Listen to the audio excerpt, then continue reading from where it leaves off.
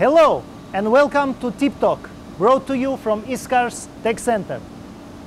Fast feed milling is considered as a high efficiency metal removal technique when machining steel and cast iron. Can fast feed milling cutters be applied to difficult to cut materials like titanium or high temperature alloys? The answer is definitely yes. Fast feed milling cutters are highly recommended for machining difficult to cut materials.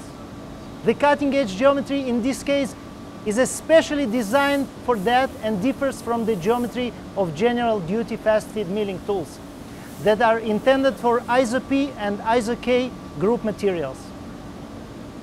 Although the feed per tooth is significantly lower compared to machining steel and cast iron, it is much higher than the feed values that are recommended for traditional methods. Okay, let's rip some titanium chips with ISCAR's outstanding fast feed milling lines.